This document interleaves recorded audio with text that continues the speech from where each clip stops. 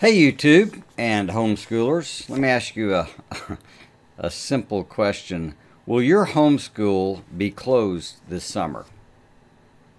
Now, I don't know if you have thought this through, but as I've mentioned before, if you want to get rich, if you'll study what poor people do and do the opposite, it's probably a good move.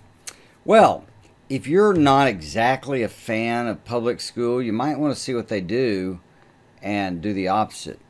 You know, Public school, private school, notoriously takes summers off. Where in the world did that come from? Well, as an agrarian society, it came from the need for people to go home and work on the farm, as it were.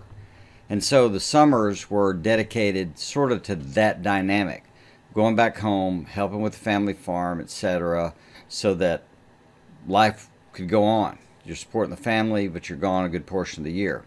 So that's the game and then it just became codified you know it became law and standard. And so teachers are paid you know with summers off. I mean the scale works out but that was one of the allures of teaching and just over time it developed this history. The question wasn't though what's good for the kid? That's about the family the teachers the society something else. But what about the learner?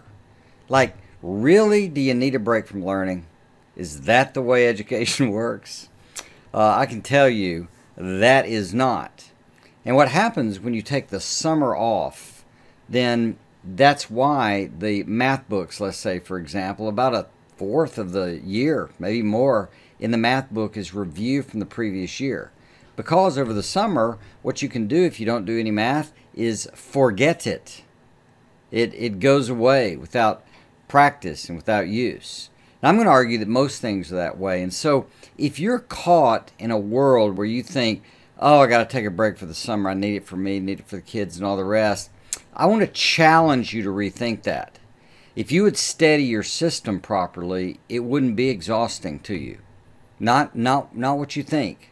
And us having um, brought up uh, five kids in homeschool all the way to college, I can tell you is much easier, including the summers for us because it allowed us to take breaks and adjustments throughout the year. We weren't in a panic to finish something for the summer. We're just ongoing, letting them go at their pace. That's why Brooks finished uh, calculus the day before his, or the day of, I think, his 15th birthday, because he was allowed to go at his pace.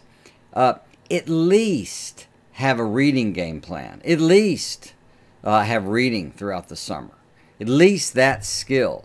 But I would suggest, even if you tone it down maybe half the amount, some math, some reading, some writing, day in, day out, sure vacation, etc., uh, is fine. Uh, one of my kids recently said to us, by the way, who does homeschool on vacation? What was that about? And I said, You're welcome because what happened was they continued to develop, continued to grow, didn't slip behind, didn't catch up, didn't have to catch up, and their confidence stayed up. I'm going to tell you, you want to do something this summer. Otherwise, follow the public school, but don't expect a different kind of result. Hey, I hope this helps. If you think this is useful, pass it along. And uh, don't forget to subscribe to this channel. It uh, it cheers us on. Thanks.